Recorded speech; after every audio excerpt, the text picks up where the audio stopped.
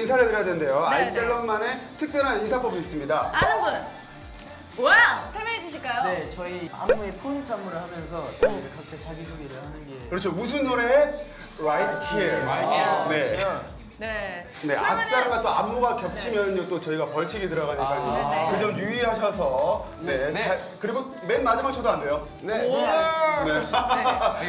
네. 아, 시작! 음악 큐! 에이!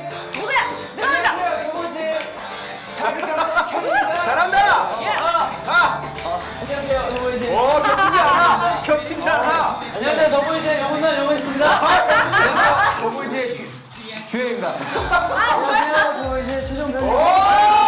안녕하세요, 더보이즈 광학입니다. 안녕하세요, 더보이즈 스티펀치 콩. 얼마 남았어? 이렇게 빠져드는 상상 그 이상 참여입니다. 안녕하세요, 더보이즈 유입니다.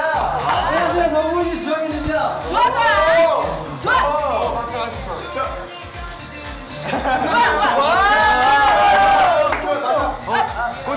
마지막이에요?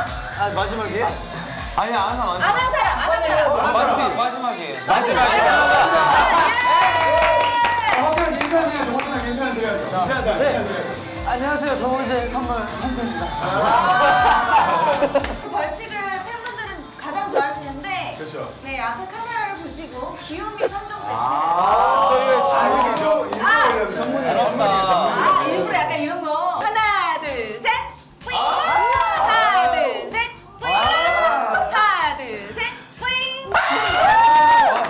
나 네.